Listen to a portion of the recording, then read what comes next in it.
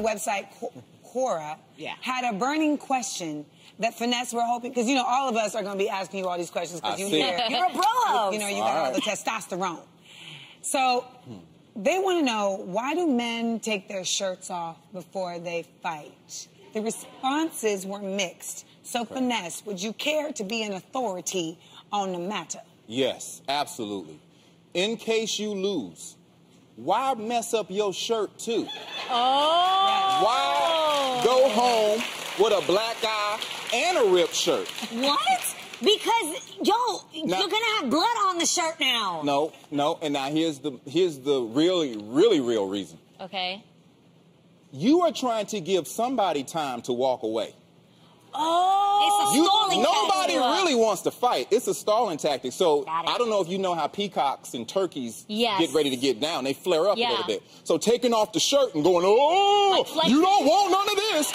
That makes the person you about to fight be like, well, do I really want this? Or maybe, but what you're really saying to somebody who's watching is, anybody want to step, Step in? in. I'm- oh. especially if it's a button down and you go to each button really slow. Nobody gonna step in? Not one person gonna stop this? I have only been in one fight, and the weave was removed from the person by my hands. Oh, oh, so you did the You removing. You did the removing. Who'd Did you fight with?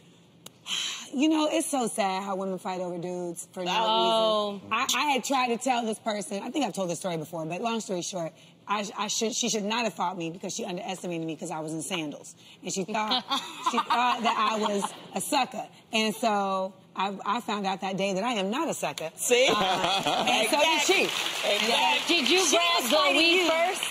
So she stole on me.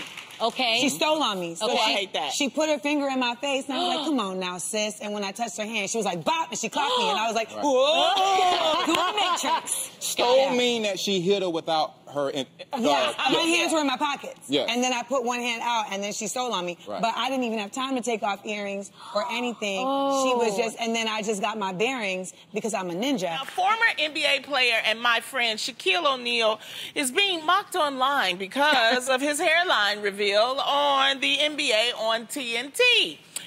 Yes, Shaq and a hairline. Seriously. I will let Shaq explain. Let's just get it out of the way, America. I had a bet against one of my good friends, D Wade, Milwaukee versus the Heat.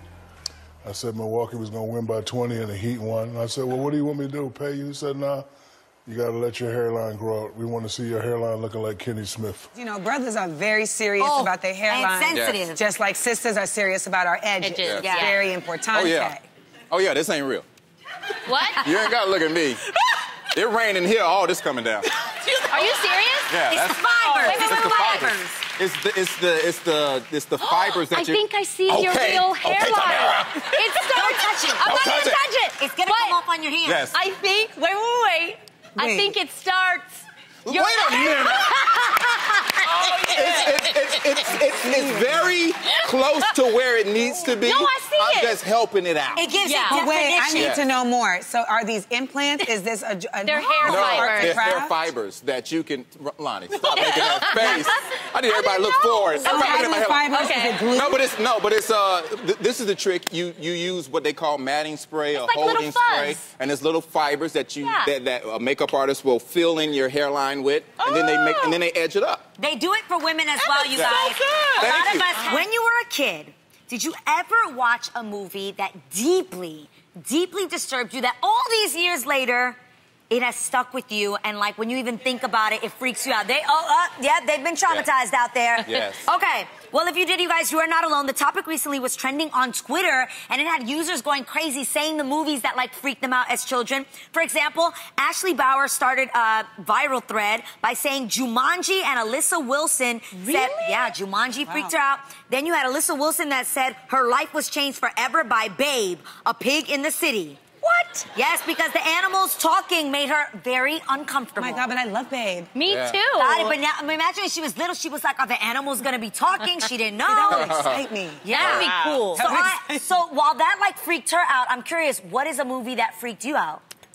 People under the stairs, yo. Yes, with Brandon I never saw Adams. it. Yes, with Brandon Adams. People Oh under my the God. stairs, yo. What? What Yes. is that about? People under the stairs. I used to like horror movies, and they Me didn't too. bother me. And then I saw people. Oh, see, look, that looks crazy already. and What is it about? basically, that's this little black child.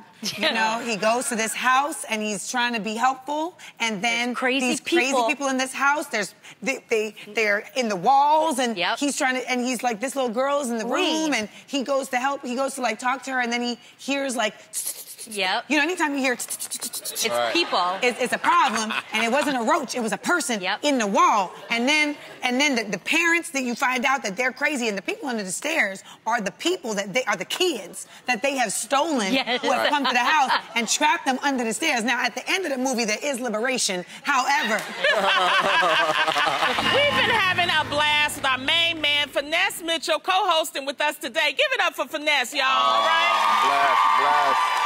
Yes. And since he's here, you know we had to help, you know, have him help us out with the real fam and our relationship questions. So it's time to say it with me, audience. Manslation! I love manslation. My man. It's Are my you ready to favorite help us subject. out? You love it? It's my favorite segment. I love it. All right, good. All right, let's get started. Adrienne, Amanda, and Tamera are in the audience with our first question from Angela and Randall. Okay, hey you two, how are you? Hey, hey. So where are you guys from? We're from Rancho Cucamonga. Nice. Okay. And what is your situation? My question is I need to know how to get better gifts. I ask for a bouquet and he gives me a single rose. Randall. No. Randall. Wait, maybe Randall has a good reason. What is your take on this? I do. I was coming home late. It was Valentine's Day, and I left my debit card at home. So, you know, I just used what I had on me, which was cash, and I got the best gift that I could get. Okay. Okay, well, Finesse, what do you think is going on between Angela and Randall? Unacceptable, Randall. Unacceptable. She said three years? Mm-hmm. Three years. Let me tell you something about relationships, people. Everything new gets old, but everything that's true stays new. She gave you a layup, a layup, and, and you messed that up. Three years is a very pivotal point in a relationship because it's like, oh, are we gonna stay together? Or are we gonna walk? But man, it is so up to you to keep making her feel like that queen that she is. And so